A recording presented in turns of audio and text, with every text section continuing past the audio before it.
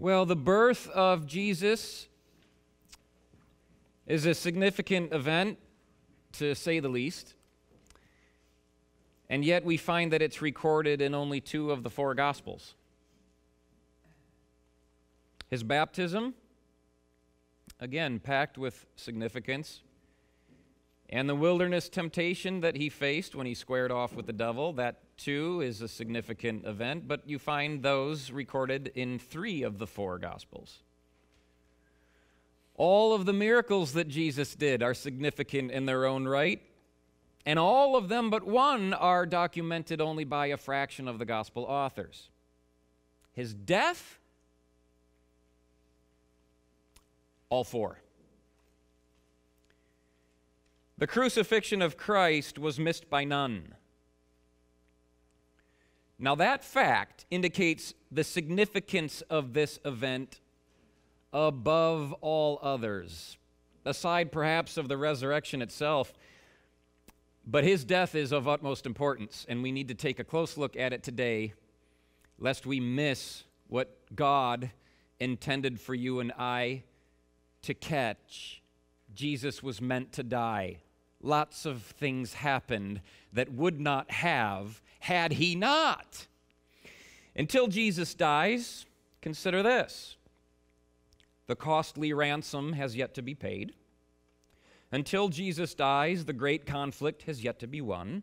Until Jesus dies, God's divine justice has yet to be satisfied.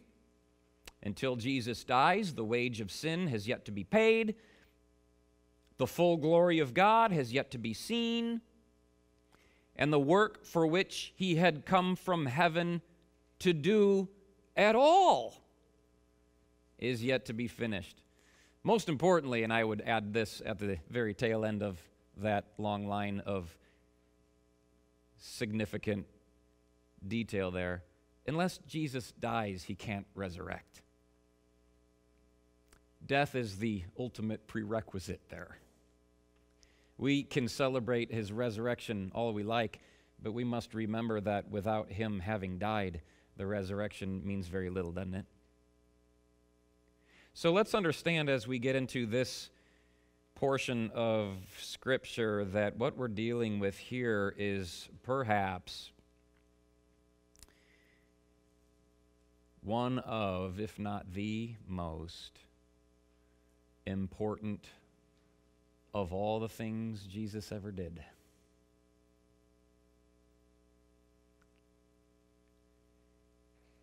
In verse 17, he, bearing his cross, went out to a place called the place of a skull, which is called in Hebrew Golgotha, where they crucified him, and two others with him, one on either side, and Jesus in the center. And Pilate wrote a title and put it on the cross and the writing was Jesus of Nazareth, the King of the Jews. and these first three introductory verses here, I want us to understand very clearly. Please get this. Jesus is being pictured here for you and I as a condemned man, guilty of a high crime. Our opening verse tells us that he was carrying his cross, bearing his cross. Now, a man seen carrying a cross in the Roman Empire meant only one thing condemned. Crucifixion was a method of execution that was designed and often used, prolifically used by the Romans to kill criminals, condemned men and women. If you were a citizen anywhere near that procession and you saw what was going on, you didn't need to be told what was happening. The cross on the back of an individual said everything condemned. And that's the opening scene Jesus condemned. The next verse tells us that if it wasn't enough for us to see the cross on his back, that he's propped up on a cross flanked by two criminals that were proven to be guilty, equally condemned. And Jesus at the center of it all. He's the centerpiece. So if you didn't get the first visual, perhaps you get it now. Furthermore, The third verse of our text, verse 19, tells us that the governor, Pontius Pilate, wrote the reason for his guilt on a placard and fixed it to the top of his cross above Jesus as he died. This is interesting here. The reason for Jesus' guilt was written down in every language necessary for everybody to read it. So there was no escaping the fact here that if you were a witness of these things, you go home with nothing more to conclude than that that guy was guilty. Everything in this scene so far indicates culpability. There is nothing to suggest innocence to any onlooker. Not you, not me, not them, nothing. Nothing says innocence. Everything says guilty. Would you agree? There's a guy carrying his cross. There he is on the cross, flanked by two other guilty individuals, and I can read for myself in my own language what the issue was. Nothing says innocence here.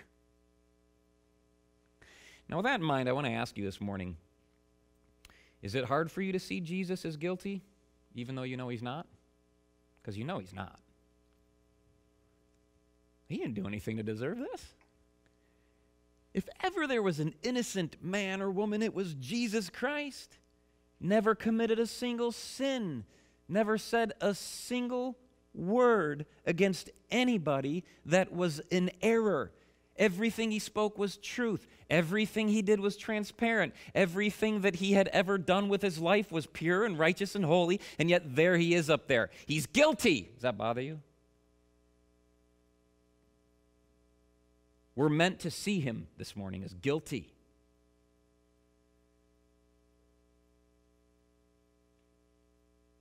Not until you're able to see Jesus as guilty in spite of the facts. I doubt that you'll ever be able to see yourself as innocent in spite of the facts. In God's economy, we need to get used to seeing somebody not for who we think they are, but for who God has claimed them to be. Jesus Christ became sin, guilty, condemned. You need to see him as that. Your life depends on it. That, my friends, is by definition faith. That's faith. In Hebrews chapter 11, verse 1, it says, Faith is assurance about what we do not see.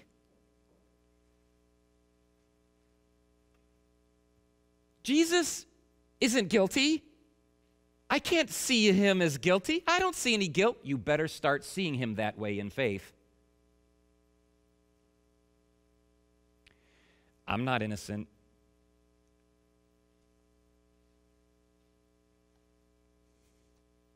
But in faith, I better start understanding that I am in God's economy if I've indeed been forgiven. Is that hard for you? To claim innocence for yourself? I hope it is. I think it's meant to be. But are you able to do it in faith? Because that's the difference between heaven and hell right there.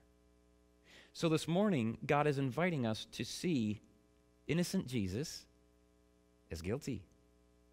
He became sin for us so that we might become the righteousness of God in him. Both of those are equally difficult for my brain to wrap its silly little hands around. Jesus became sin that's so weird. Jesus, you sinner. Like, there's just something like wrong about that. But God made it happen. And then me, righteous? Like righteous, like God is righteous? I have become the righteousness of God, pure and perfect and holy. There's something equally awkward about that, especially for you, my pastor, pure and righteous and holy? Yeah, I'm with you. I don't get it. And yet, we believe this by faith, or we have none at all. Go back to verse 18 I want to draw your attention to three words right there at the top of that verse. They crucified him. They crucified him. Three short words in the English language. They crucified him. In the original Greek, you'd only find two words. Very short, right? One personal pronoun and one verb. So I don't know if you guys have ever seen that movie. I think it came out in 2004, Mel Gibson, The Passion. It took Mel Gibson nearly two years and roughly $30 million to convey the same thing that John did with just two words. They crucified him. if you've ever read through the Bible, you can go to Matthew or you can go to Mark or Luke or John, whichever one you, you choose, and you will find that the gospel accounts of the crucifixion of Christ are surprisingly tame. Usually that's about all you're going to get. It'll mention the crown of thorns, it'll mention the whipping, but you're not going to get the gory details. You're not going to get the blood and the guts and all of the things that I guess God deems extraneous. Those details weren't needed. If you want to know what a crucifixion was like, don't read the Bible because it won't tell you. If you want to know what a crucifixion is like, and many people already know because they've dug into history, that's where you're going to have to look for the details of what a Roman crucifixion entailed. Because our Bible says this they crucified him.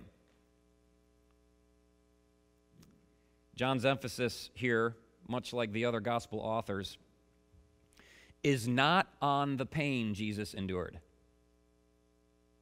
John's emphasis is on the prophecies he fulfilled. That's what's important. Not how much blood loss there was, or whether the bowels were hanging out, or whether, you know, what does that matter? The prophecies being fulfilled is what matters. That's why John brings it up in verse 24 that prophecy was fulfilled, and in verse 28, and in verse 36, and in verse 37, because that's the point. If your life was a gospel, that you were entrusted to write. When you got to the hard chapters of your life, let me ask you this Would you fill up the pages with all kinds of frivolous details about how bad it hurt and how hard it was? Or would you faithfully point people to what's really important? You might be able to answer that question right now, even though your life isn't necessarily a gospel that you're writing. I can ask you this are you careful in difficult times to help people see how God is able to accomplish beautiful things through your painful circumstances, or do you just focus on the pain itself? Woe is me, I'm having such a hard time, and because these gospel writers and Jesus himself are helping us to see God more clearly. That's why the details of the pain and the gruesome nature, the, the graphic depictions, it's all left out. We saved that for Mel Gibson movies. You would never have known it was that graphic had you simply read the Bible, which is why so many Christians, when that movie came out, squawked about how terrible it was. Just too gory. Yeah, that's because you've been reading your Bible. Gore isn't conveyed in the scriptures, it doesn't need to be. Of course, we don't need to pretend that it wasn't there because it certainly was, but that wasn't the point. So I love this now. Pontius Pilate writes Jesus of Nazareth, the King of the Jews, on this, you know, sign, posts it to the cross above Christ's head. And then a bunch of the Jews, they read this and they complain. They said, No, don't write that. Don't write the king of the Jews. Write, He said he was the king of the Jews. And of course, Pilate fires back and says, What I've written, I've written. Like, I ain't changing it. You guys have been bossing me around for too long now. i am done. So finally, he gets a spine. Just a few verses too late, but he so there it is. Jesus is the king. Clearly stated in Hebrew, in Greek, and in Latin. So it was printed in enough languages that everybody there would get the message, whether they were Jewish or Greek or Roman. The message was clear. I find this insightful. Uh, what I learn from these few verses is that the truth of Christ has been being translated into foreign languages since the very hour of his death. That's kind of neat. And Christians have been carrying on that work for the last two millennia, doing what must be done to translate the truth of Christ into as many languages as possible so that everybody has a chance to see that Jesus is the King. Jesus is the King. Before any of the Gospels had been composed, because when Pilate wrote that down, Matthew had yet to write his account, John had yet to write his account, Luke had done none of his research to compile and edit his own manuscript. Mark hadn't gotten, none of the Gospels were yet written, let alone in print. This happened before the Gospels were written. This happened before any of the epistles had been penned. But before any of that, there was this Jesus is the King. And that, ladies and gentlemen, if you want to skip reading the New Testament because you're just too lazy? Jesus is the king. That's a summary statement of all that would eventually be printed in all 27 books of the New Testament. You want a really, really, really short synopsis? Jesus is the king. And it's interesting to me that Pontius Pilate, of all people, just basically put the world's first New Testament into print. There you go. Jesus is the King. Well, ever since then, we have translated that fact into over 2,214 additional languages.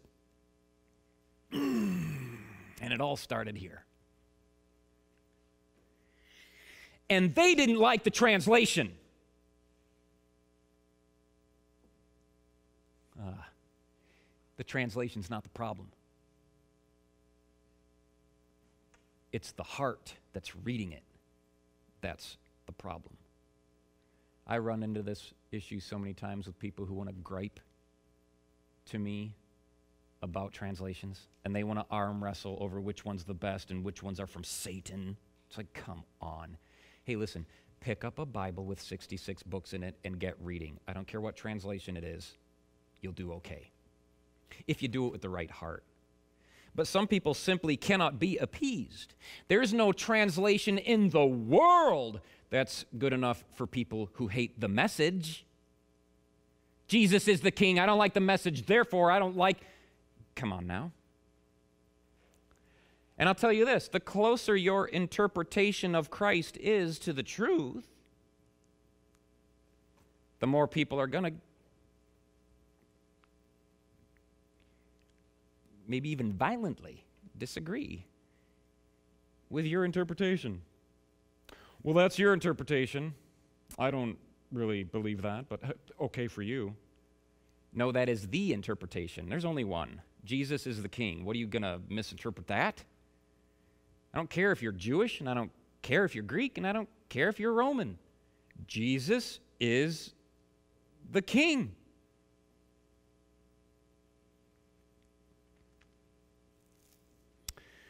Well, the problem they had with it ultimately was that Pilate, what he wrote, he presented it as fact. So they wanted the vernacular to be altered to suggest that it was a little less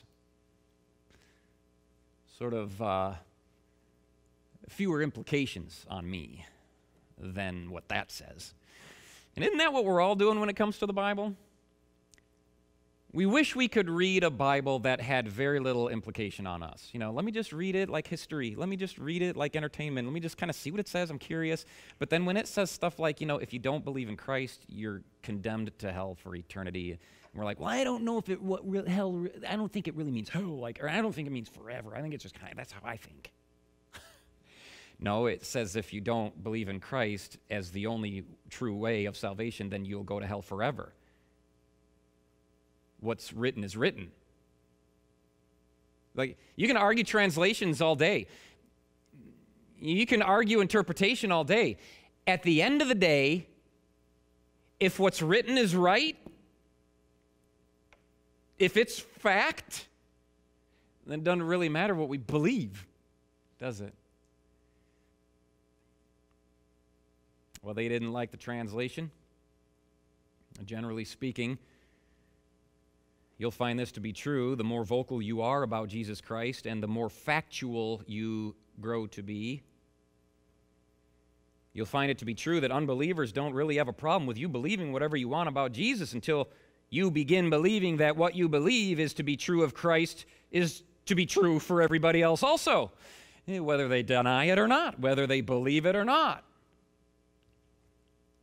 It's like gravity. Nobody believes in gravity, but all of a sudden I believe in gravity. And I also believe that what I believe about gravity is right, and that gravity also applies to you, even if you don't think gravity applies to you. You gonna you gonna learn the hard way on this one? You're gonna force yourself to endure the bumps and bruises of pretending gravity doesn't exist when it does? And you're gonna reject it just because you don't like my interpretation of gravity?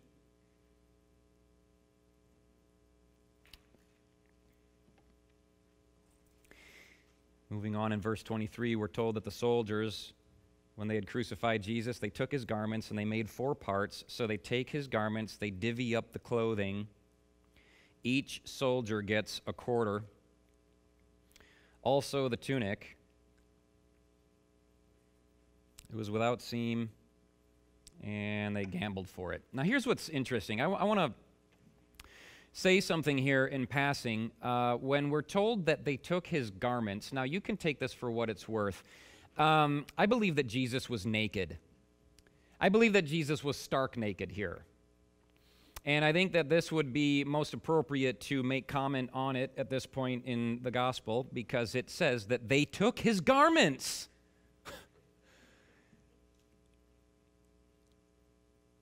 I mean, come on there's at least more evidence to suggest that he was naked than there is to suggest that he still had on a loincloth. And let me remind you that the first Adam in the garden, when he became a sinner, the very next thing that happened to him, if you remember, was that he was made aware of his nakedness. Total nakedness. I believe the same thing is happening here to Jesus as Jesus becomes sin. He's made naked before everybody. And I'll tell you this the Romans would have wasted no opportunity to humiliate their victims or to horrify their audience. And the Jews, hating Jesus like they did, would have made no attempt to stop them. And I believe this was a prime opportunity. Let's strip him buck naked in front of everybody. Now, it may be opinion, but I think is my, I believe that mine is a little bit more valid than what I've seen depicted. I think he was naked. Now you go ahead and let that picture sink in. Jesus embarrassingly naked hanging there, looking more of a fool than what any Renaissance artist had ever depicted in the past. I think some of those artists had more interested in modesty than they had in accuracy, which is why you'll find that Jesus is always clothed. My Bible says that he wasn't. They took it all away and also the tunic. Now, what's up with this tunic? Well, that this garment, whatever it was, had considerable value is made pretty clear by the fact that they refused to tear it. They needed to keep it whole. This is really the prized possession of everything that Jesus had, which, by the way, wasn't very much at all. Jesus did not have much to divvy up. but what he did have, namely this tunic, was of significant value, at least to some people. Who gets to keep the robe? Well, we don't know who got to keep the robe, but we do know how they got it. They got it by rolling the dice. That's what it means to cast lots. They rolled the dice. Imagine that as a souvenir. Imagine anything of Jesus's as a souvenir. You know? Like, what if you got his sandals? Would you sell them on eBay? I hope not. Would you wear them? How dare you? Thinking that you could walk even a mile in his shoes. Now, who gets to keep the robe? There's great symbolism here, guys. In the Bible, righteousness is compared to a robe. In Isaiah 61, verse 10, it says, I will greatly rejoice in the Lord, for he has clothed me with the garments of salvation. He has covered me with the robe of righteousness. Now, the Bible goes on to explain how faithful men and women are promised to be given such a garment as this. In Revelation 19, it says, To her was granted that she should be arrayed in fine linen, clean and white, for the fine linen is the righteousness of the saints. Our righteousness is the very righteousness of Christ. It's as if He gives us that robe, and it's not just any robe, it's His robe that we will wear for all of eternity. Jesus is our righteousness. 1 Corinthians chapter 1 verse 30 says Jesus becomes our righteousness. He doesn't give it to us, he is it and we wear his garment. Now, the difference between us and those soldiers is that we, unlike them, don't acquire this garment by luck. We don't need to roll the dice to see if we get to keep that robe of righteousness. We receive that by faith. And thank God it's not limited to one lucky winner either. this robe of righteousness is available to all through Christ, anyone who will come. Anyone who has faith in Jesus will be given this fine white linen with which to be clothed, and it is Jesus himself who becomes our righteousness. There's deep symbolism in this, and I'll leave it aside for now. Now, in verse 25, it tells us that there stood by the cross Jesus' mother, his mother's sister, Mary, the wife of Cleopas, and Mary Magdalene.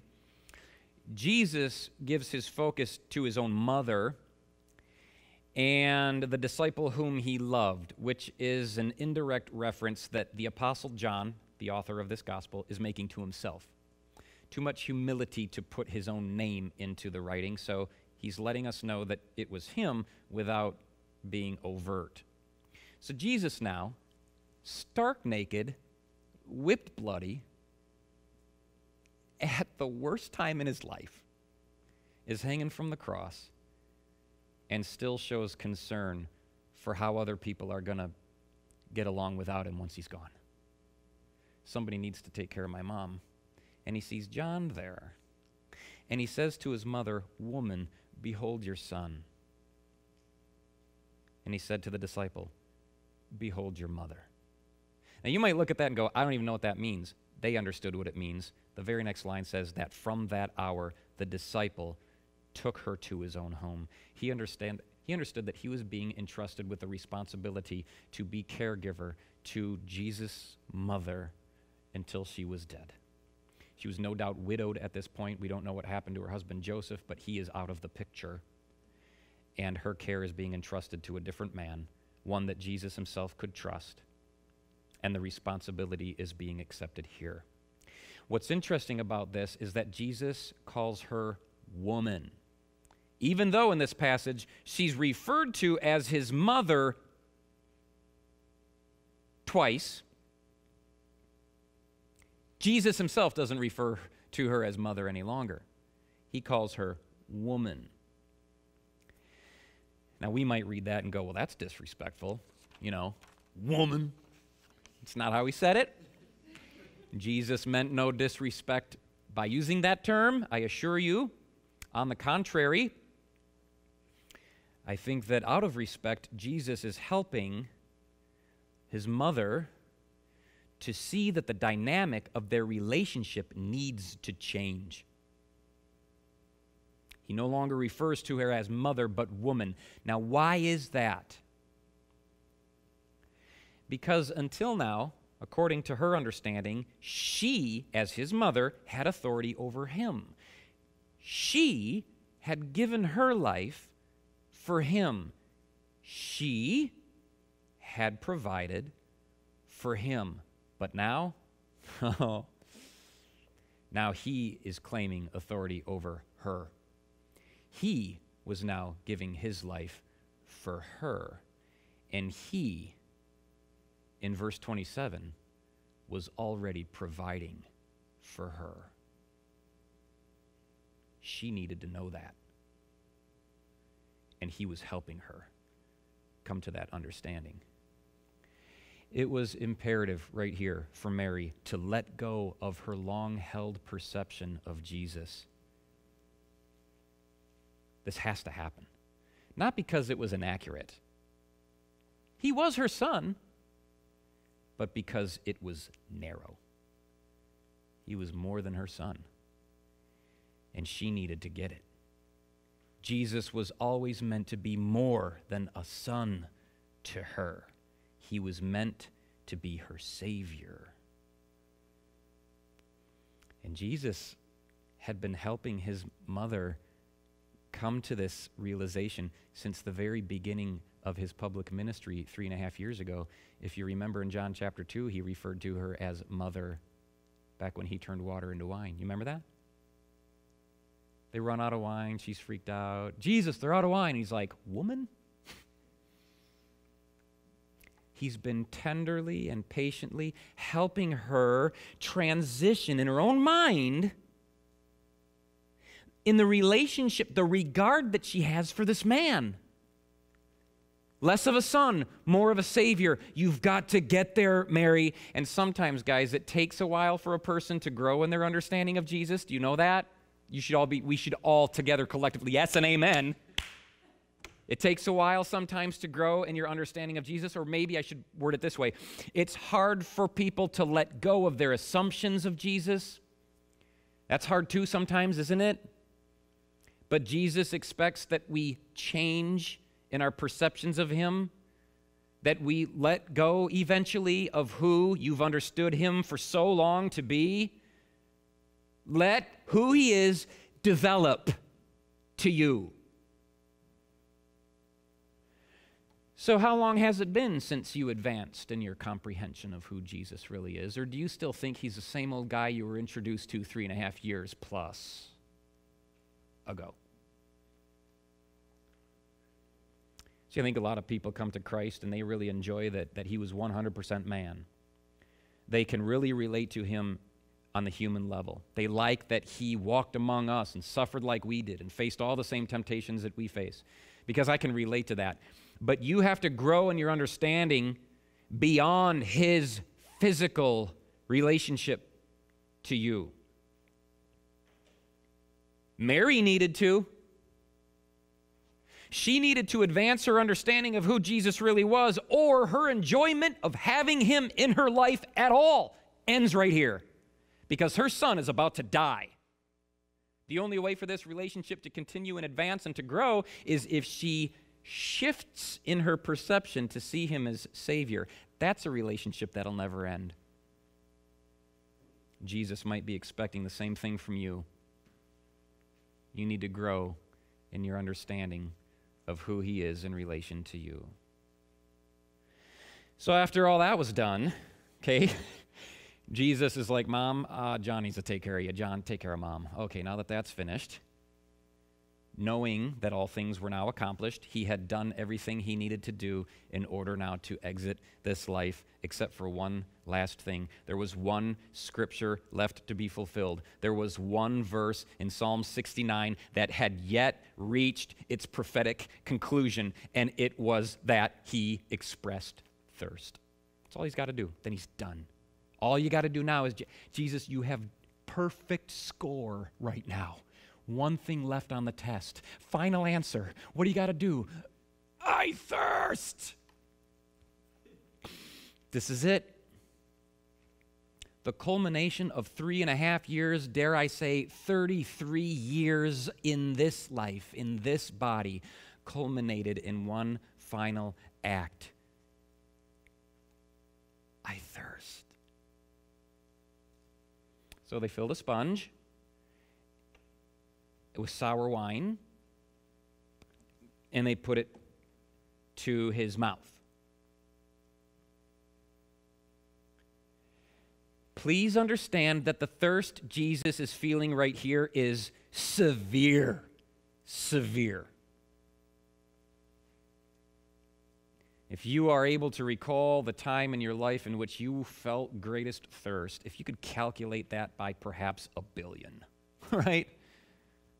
I may or may not be exaggerating here. He's thirsty, severely thirsty. This is severe blood loss thirsty, which any research in the field of biology would tell you that when a patient loses vast amounts of blood, there is a thirst that's produced.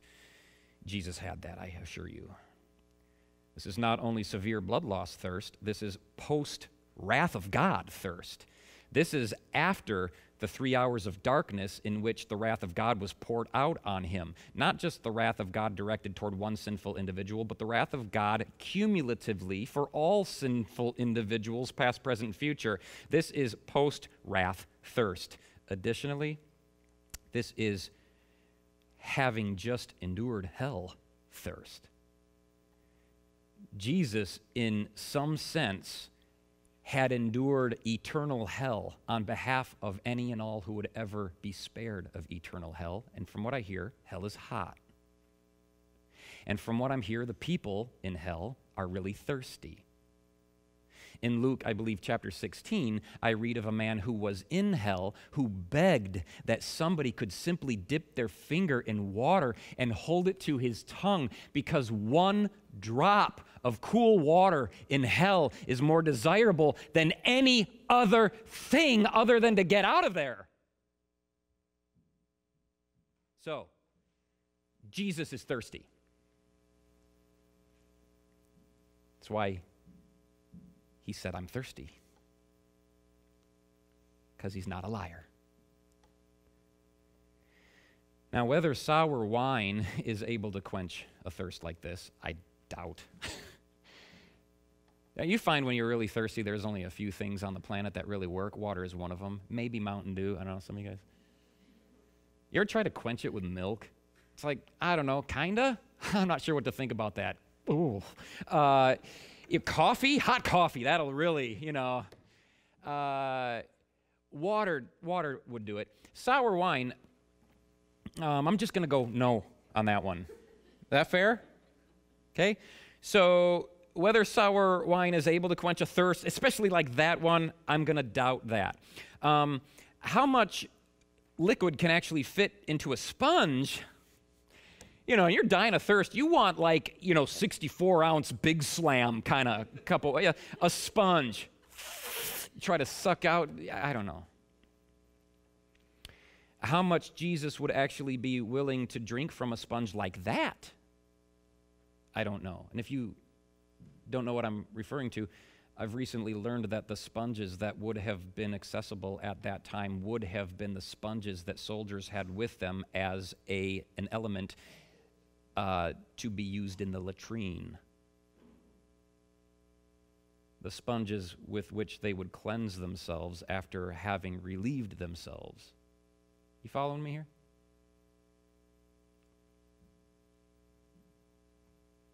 Well, I don't know. There's all kinds of details, I suppose, that you can take into account to, to, into account to determine whether Jesus drank enough to actually quench his thirst. I'm going to say probably not. Probably not. I don't think his thirst was quenched. I think he was thirsty on the cross, and I think that Jesus died a thirsty man. And I believe that there's strong evidence to support that conclusion. I believe Jesus died thirsty so that we could drink. I believe Jesus did drink, but it wasn't from the sponge so much as it was the cup that God gave him full of wrath. I think that Jesus drank the cup of wrath so that we could drink the living water of eternal life and never thirst again. I think that Jesus denied the quenching of his own thirst so that we could quench ours on what really counts. They offered him a sponge full of sour wine. Well, isn't that nice? You know, I don't know if it was done in spite. I don't know if it was done in sympathy. But I will tell you this whatever it is that mere men are able to offer you by way of religion is bathroom tissue soaked in sour wine compared to what Jesus offers us in Himself. Fair? Man made religion by itself has never quenched anybody's spiritual thirst, not once. Religion alone can never quench a person's thirst for righteousness. Being thirsty is a good thing. Thirsty for righteousness, Jesus said, Blessed are those who thirst for righteousness. Be careful, however, where you attempt to quench that thirst. I would go on to say, Cursed are those who think that the religious concoctions of ignorant men can quench it. You need Christ. You need Christ. Not a formulaic prayer, not the right church, not some traditions or some rituals or some of this or some of that. You need Jesus Christ. It's why he died thirsty so that we could be quenched on him. Jesus died of thirst so that we wouldn't have to drink from that sick, sour sponge of religion that men are glad to offer anybody. The living water is found exclusively in Christ. When he had received the sour wine, he said, It is finished. And then he bowed his head and gave up his spirit. It is finished. In the original language, this is not three words, this is one word. It's as if Jesus said, Done! Done! Now, I'll tell you this what I'm reading into Scripture here is that this statement wasn't the helpless cry of relief that this was finally over. It's done. Oh, no. This was an authoritative decree. Done. Whether he said it loud or whispered quietly, I don't know. Volume at this point doesn't matter. It's done. Done. Jesus, in this statement, is laying every argument to rest. That's what the word means. That's what this phrase, that's what this statement indicates. He's laying every argument to rest. We don't get to argue with him anymore. It's done. What's been written has been written. He was bringing the entire message of his life to closure. It's finished. One commentary says this everything had been done that the law of God required all things had been established, which prophecy predicted. All things had been brought to pass, which the Old Testament types foreshadowed. All things had been accomplished, which the Father had given Jesus to do. All things had been performed, which were needed for our redemption. Nothing was left wanting. Nothing. The costly ransom was given. The great conflict had been endured. Sin's wages were paid. And divine justice was satisfied. Man, never ever has God accomplished as much as he did through a travesty as great as this was. Truly, I think that we have in plain view a fulfillment of what Paul said in Romans 8 28 all things work together for good for those who are called and love him. And that would be Christ, of course. God uses the murder of his only beloved child to save the despicable men and women whose sins were responsible for it. And that, of course, includes me and you.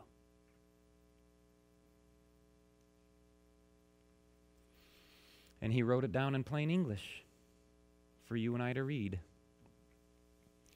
And you might not like the translation. You might not like the interpretation. You might not like the implications. But what's written has been written. Jesus wasn't guilty. We are. And I certainly hope you know that, and I think that you do. And yet, Jesus volunteered himself to be judged as guilty so that we would have the chance to be judged as innocent. And that's what he did. It didn't matter that he was innocent. God wanted Jesus to die as a guilty man, so Jesus did, and he did it well.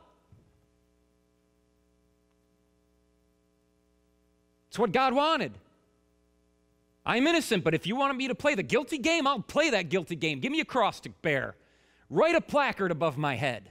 Lift me up between two additional condemned criminals and let me die. You want me to pretend like I'm guilty? No problem, God. I love you.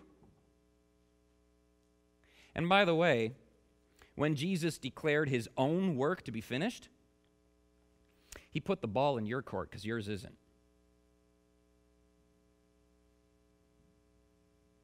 He played the part of a guilty man, and he did it well. And he finished his job and then threw it right back at you for you now to play your part. And if you have faith in Jesus, it doesn't matter how guilty you are or how guilty you may feel. God wants you to live your life as if you've been forgiven. And He wants you to do it well. If Jesus Christ, God in the flesh, can play the part of a criminal, then can you play the part of a son? or a daughter? And can you do it well?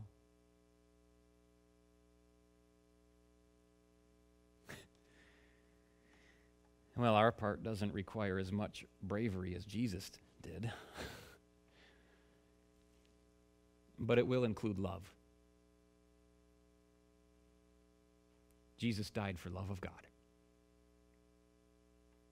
And if you're going to play your part, You'll do it for love or you won't do it at all. This morning, dear God, we come before you with, I pray, a greater understanding of what took place on the cross that Jesus was hung upon. My hope this morning, Lord, is that we will then, having perhaps understood the part he played. Begin to see in ourselves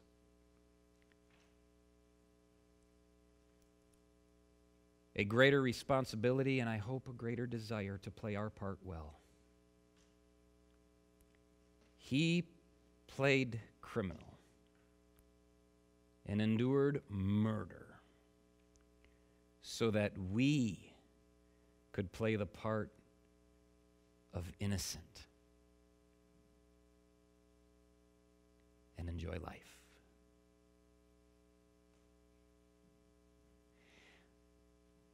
We praise Jesus this morning that he was willing to die thirsty. Because he has, Lord, may we come boldly before the throne of grace and drink freely of the living water that you've offered us to drink. May we enjoy what Jesus bought for us, the good gift that He's given to us.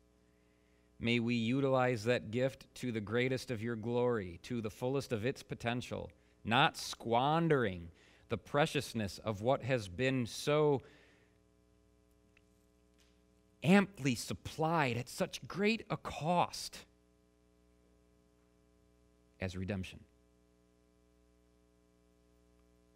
I don't know how we feel this morning. Maybe we feel guilty. Maybe we feel inadequate. Maybe we feel condemned. Well, then maybe we need to check our faith. Maybe there's a reason for that. But if indeed we have placed our trust in Christ, if indeed we are born again, if indeed Jesus' blood has paid for our redemption, then we better start acting like it. We have no excuse to not act like Christians. If Jesus can act like a guilty, condemned criminal, then certainly he can give us the power that is needed to act like we should. May we, Lord, always and forever.